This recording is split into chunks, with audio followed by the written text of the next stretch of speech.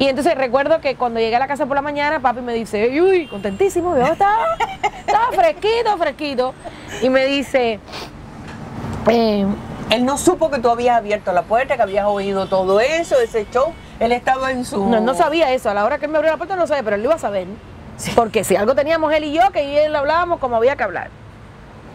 Y yo recuerdo que te abrí la puerta y me abrió la puerta y me dijo, oye, Judith, ¿estás- yo digo, ¿cómo es posible? Tú no, oye, tú no llamas aquí, para eso está el tareco ese aquí, para que tú llames. El tareco era. El teléfono. Sí.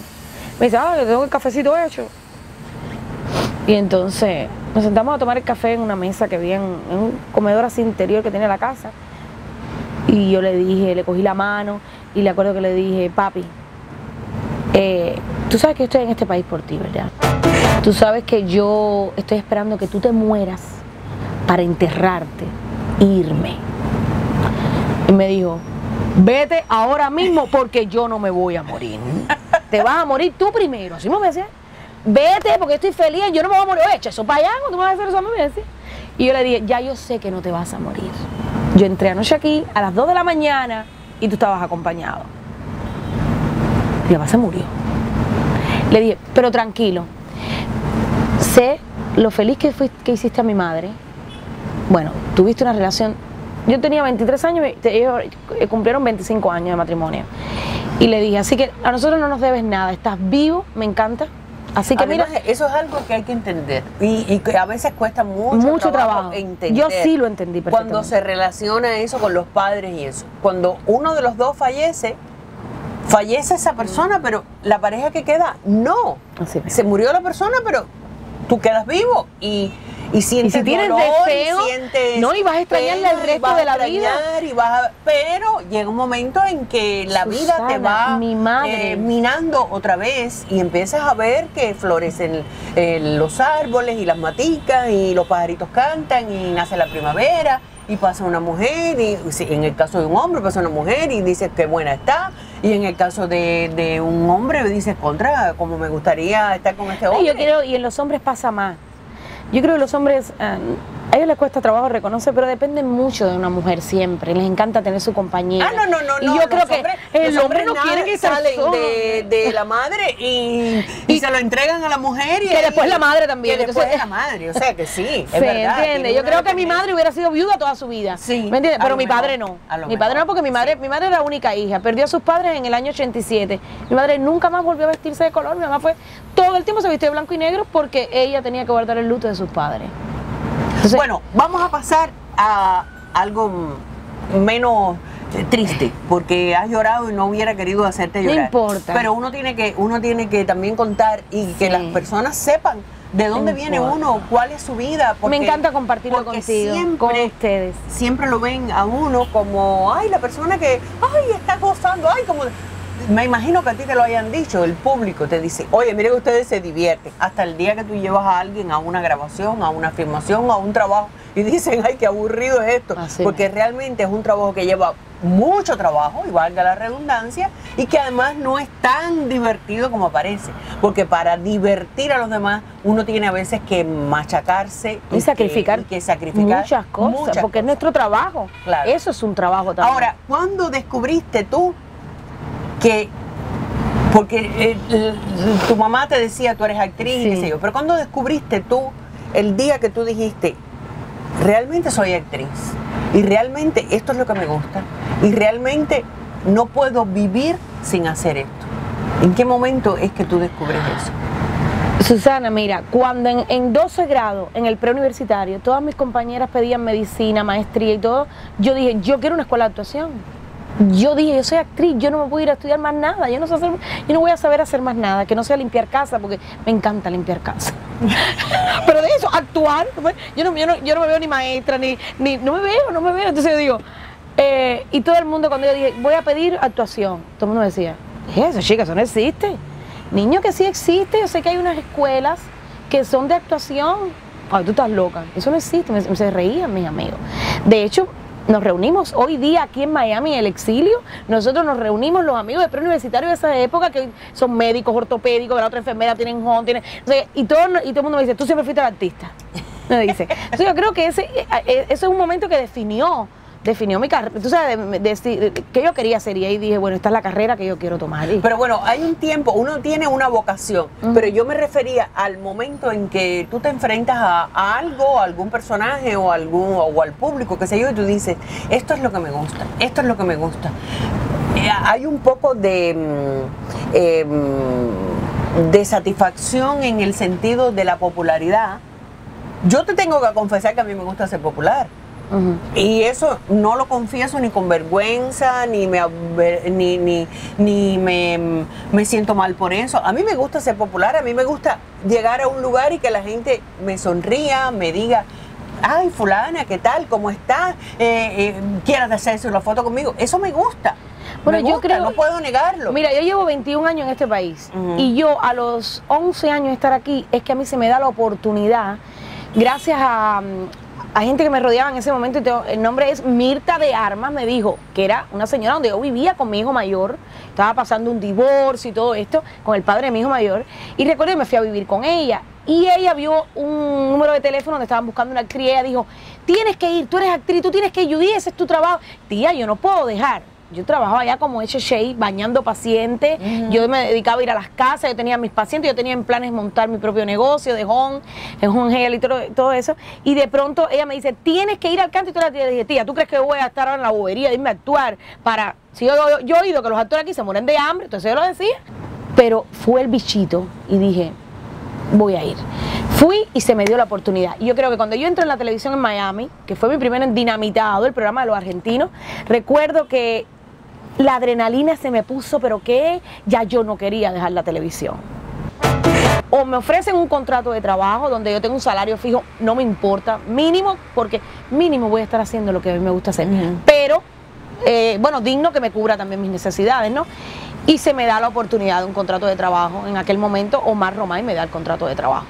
Y entonces ya yo dejo la- el tema de la enfermería y ya me dediqué a la actuación. Y es eso lo que tú me estás hablando, ¿no? Es el momento, yo creo que fue dinamitado. Ese es el momento yo creo que fue el encuentro con aquel equipo de Miguel del Cel, Emilio Dizzi, que para mí fue la persona que me descubrió, que dijo, Judy, él, él le mandaron mi casting para ser su pareja en el programa y mandaron el casting de no sé cuántas actrices y él dijo, yo la quiero a ella, a esa gordita yo la quiero.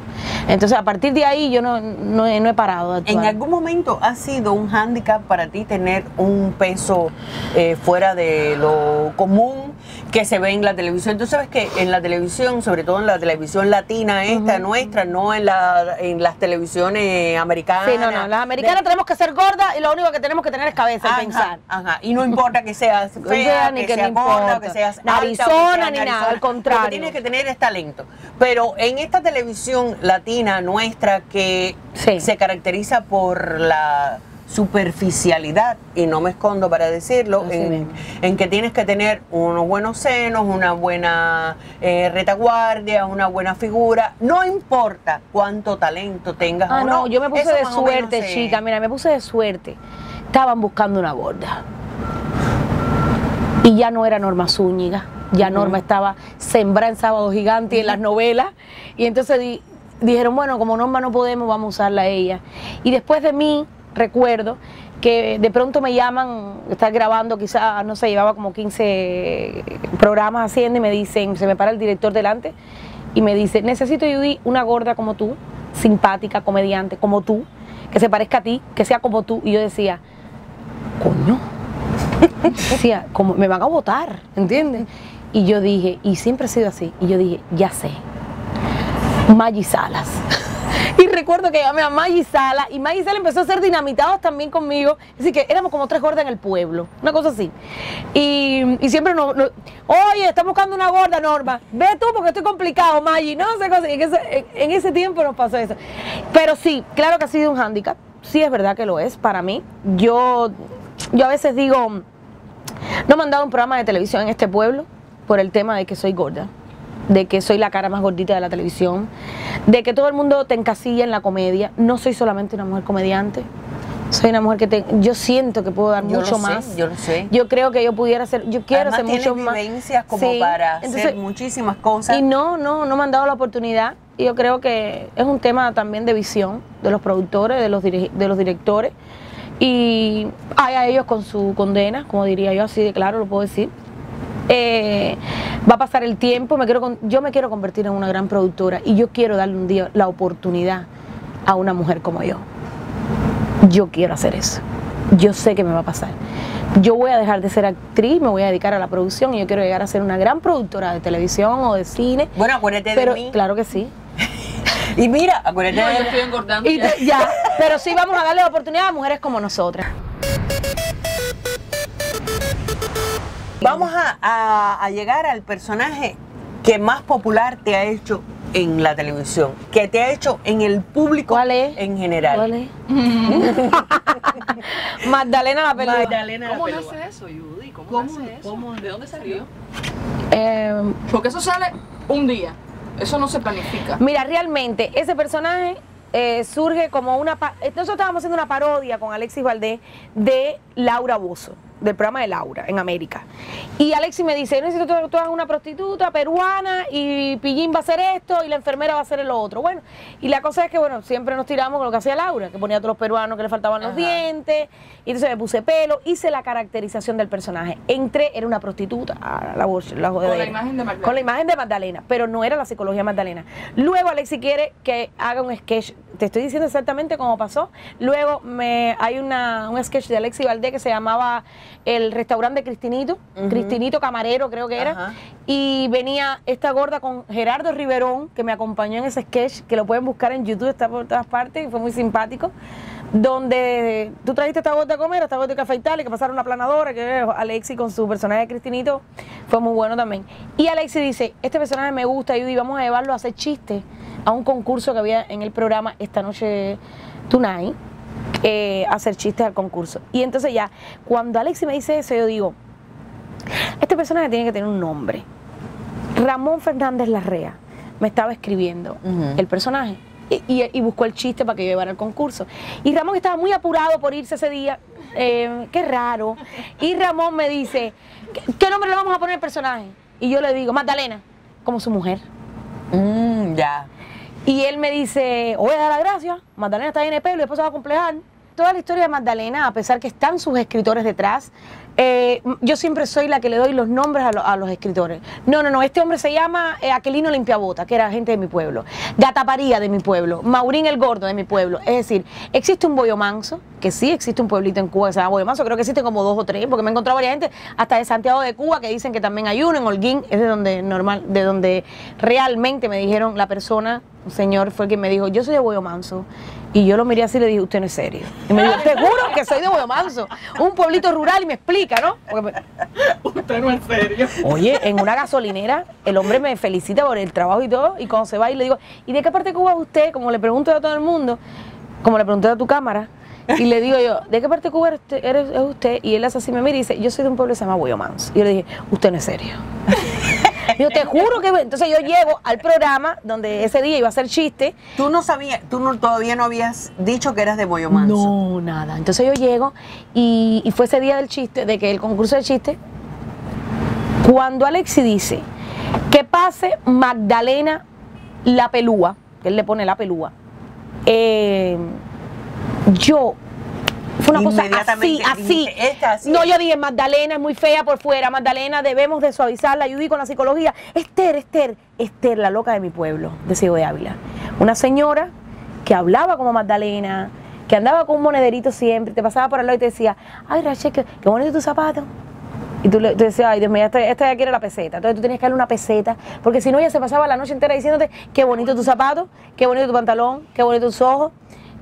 Y yo, pero fue así, fue un espíritu, yo creo que llegó a mí y fue Esther.